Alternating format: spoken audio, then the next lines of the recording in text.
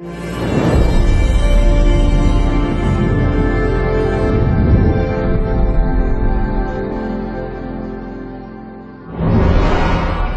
everyone, welcome to Woman TV.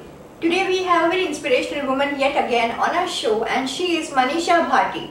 She is the co-founder of Dream Hunts India, which is exclusively into counseling, training and development of various individuals from corporate to the educational sector. Very interesting about her venture is that they have a very special and personal connect with their clients. They accompany their clients to the shopping, theaters and create a personal bonding so that they can better help and understand their problems and the solutions to it. So hi Manisha, welcome on our show. Thank you so much for inviting me. Most welcome. And what an interesting concept. To start with, was your heart always into this or was there some point of uh, time where you... Welcome Manisha on our show. Thank you so much for inviting. Yeah, most welcome. So this is quite interesting what you do.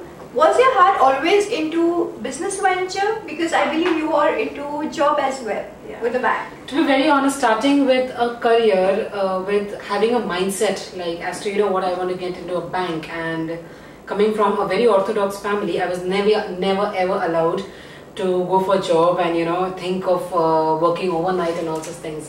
But I always thought of breaking this mindset of the people and I'm a person who will never adjust or compromise in anything which is going against my life. So yes, I had a two years experience of the banking field and after that uh, I met my colleague Mr. Sridhar over there and he was like, you know, he knew that there is a certain kind of spark in me which can help us out in setting up an enterprise, enterprise because simultaneously I also I was also taking up classes of uh, 10th and 12th standard wherein I was taking teaching banking and accountancy. Okay. So this was uh, something that wherein we decided personally and we were like, you know, Sridhar, we should go for it and we should set up our own enterprise wherein working in a bank also we realized a lot of people are lacking behind in skill set. So he also, and we structured out the design, we designed out as to how we can go about it. Then this came into, this one thing that came into the picture was a Dream Hunt India, wherein starting from the corporate, starting from the students, starting from a parental background, everything we make sure that we are catering the needs, catering the services and the skill set that people are lacking in today's world. So this is what kept us going and setting up this beautiful Dream Hunt India. And as I went through your profile, I understood and I was proud that you had not a very easy journey, but that didn't stop you. Absolutely. So, what was the struggle really about? At a very initial stage, of course, at a very early age, I started this institute wherein we both didn't have any financial support. Starting from the family, we can say, because it was like, you know, it is on our own. We had made up our mindset as to we have to do it on our own. So I had that one thing in uh, my wardrobe, I can say, is like I had certain kind of gold of my own wherein I had to keep sold that off and I made sure that I set up this institute. And of course, uh, taking the permission of the family was not that easy.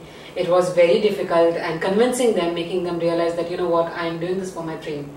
And it's not something, and trust me, I won't uh, break the trust that you all have in me and give me some time. And of course, I'm very proud of my parents that they let me do what I wanted to do. And till date, now they are very much, you know, they've become very much open-minded. They don't, uh, they don't get scared as to what I'm doing and how are things going to happen. That typical parental mindset that they have. A lot of parents, they are very much nervous or scared as to a girl is going out there and facing the public. We don't know how people will treat her. We don't know what kind of enterprise, even if she's setting up, is she on the right track?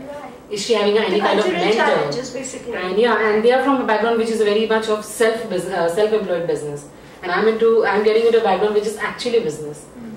So this was something, but yes, now things are very much smooth, and now we are challenging something related to the business and not something of the family background. Wow, So I'm because very you happy. overcome that. Yeah, Right. I've overcome that. Yeah. So, what exactly Dream Hunt is into, and which kind of you know women-centric issues you'll address? Dream Hunt India, it's been four years that we are running. Eventually, we realized, to be very honest, uh, initially we had that mindset of skill set and everything, but eventually we realized that, you know what, ladies out there, you guys need to be emotionally, financially, physically.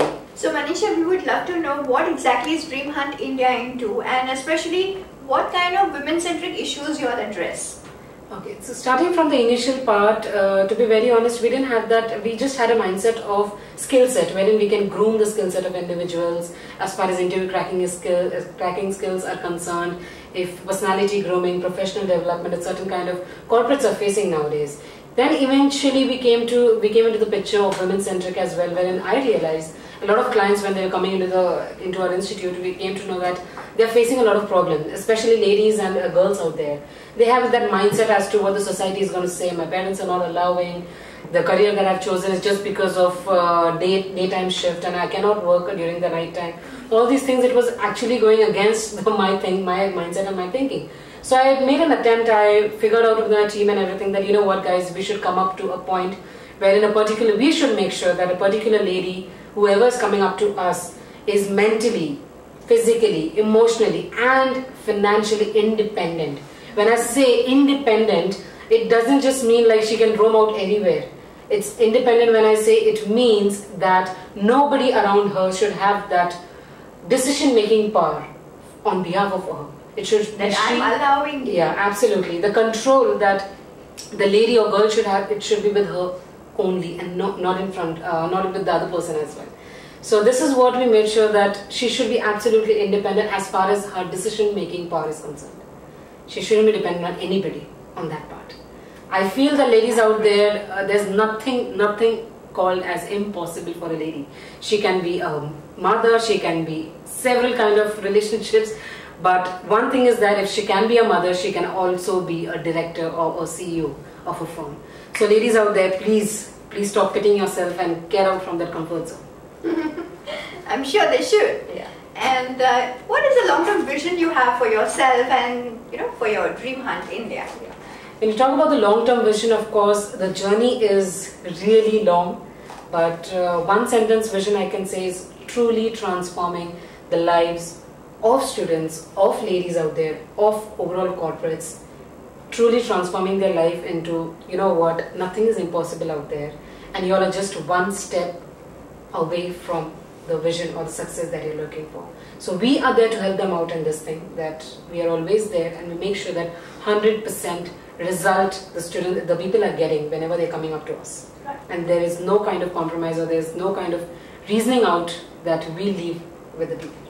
Great. Uh, this is quite interesting. What I found about your venture is that you'll accompany your clients, especially for shopping and theaters, to understand what are people they are, their personality, their problems and issues. Why really?